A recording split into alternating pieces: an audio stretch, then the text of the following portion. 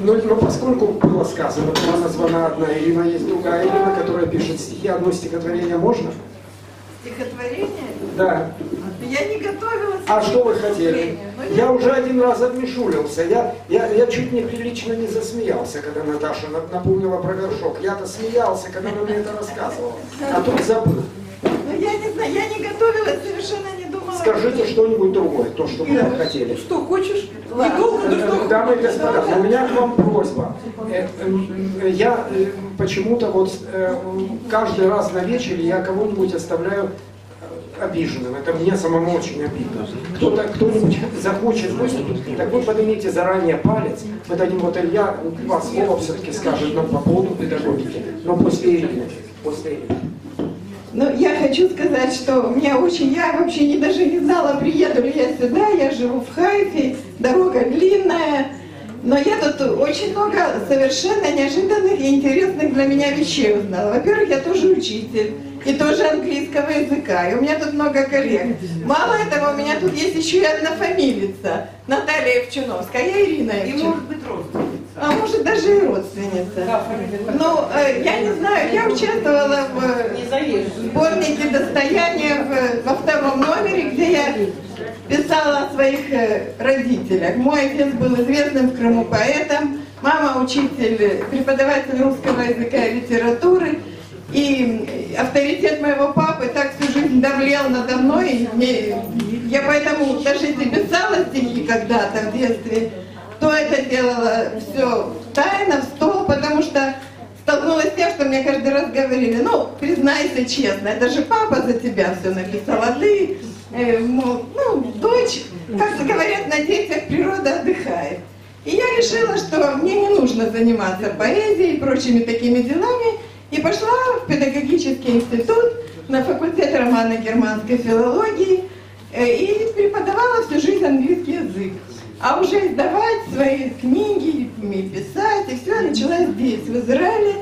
И вот и что еще интересно, что тут есть, я, я не помню имени вашего, вы занимаетесь поэзией перевода, да? Я могу говорить. Да, а у меня вот вышел сейчас в прошлом году сборник переводов. Это с английского, иврита на русский, и с русского на английский и на иврит. К сожалению, у меня с собой только две книжки, но вот есть такое. И я не знаю, может быть, если еще не устали, я прочту. Тут есть авторы, которые, в общем-то, писатели для детей, американский автор, эм, доктор Сьюз такой есть.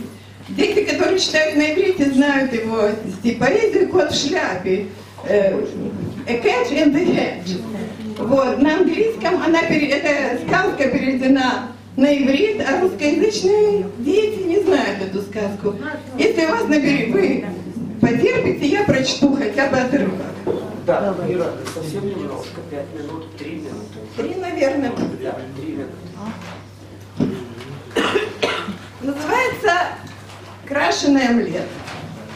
Кто не знает, что я Сэм? Да, я Сэм, я Сэм, я Сэм. Ты откуда и зачем? Что такое Сэм, я Сэм? Может, ты не Сэм, а ты? Хочешь крашеный омлет? Нет, крашеный омлет не ем. Понял, Сэм, я Сэм, я Сэм. Можешь съесть кусочек в доме, можешь прямо на соломе, можешь сидя на полу или с мышками в углу. Говорю же, нет и нет, я вообще не ем омлет. Я не ем его ни в доме, ни в углу, ни на соломе. С мышками, конечно, нет, что за крашеный омлет. Никогда его не съем. Слышишь, Сэм, я Сэм, я Сэм. Можешь съесть его в беседке, поделиться с птичкой в клетке, или вдруг поймав в лесу, пообедать с ней в лесу. Можешь, можешь в огороде, можешь в доме и в походе, можешь и на табурете, можешь в шляпе и в берете. Поезд, поезд, хочешь сесть, можешь в поезде поесть. В поезде еще раз нет. Сэм, не съем я твой омлет. Я не съем омлет в беседке, ни в лесу, ни с птичкой в клетке. Ни за что, ни в огороде, ни в доме, ни в походе.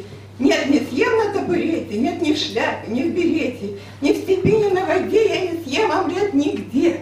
Никогда его не съем, понимаешь, Сэм, я Сэм? Хочешь там, хочешь здесь, почему бы не поесть? Этот крашеный омлет, он и завтрак, и обед. Не хочу ни там, ни здесь, Сэм, не знаю, что мне есть. Сам знаешь, что я не есть. Но попробуй откусить, только раз. тебя просить. Ну попробуй хоть кусочек. Хочешь днем, а хочешь ночью. Э, хочешь за дождик, хочешь зной, ну попробуй, что с тобой? Ну попробуй, тогда скажешь всем, что заедал. И тогда скажешь всем, вот это да, это блюдо непростое. Сэм, оставь меня в покое. И тогда кусочек съем. Ну иди подальше, Сэм. Я попробовал, ну да, очень вкусная еда. Этот крашеный омлет, он и завтрак, и обед. Им теперь питаюсь в доме, во дворе, и на соломе, на диване, на полу и с мышатами в углу. Я его и там, и здесь, почему бы не поесть? Съесть омлет могу в беседке, поделиться с птичкой в клетке, а могу, поймав лесу, пообедать с ней в лесу. Съесть могу на огороде, и в такси, и на пароходе. Ем омлеты на табурете, ем и в шляпе, и в берете. Если нужно в поезд сесть, там я и там могу поесть. Ем на суше, на воде, в общем, ем омлет везде. Я везде в него влюблен, потому что вкусный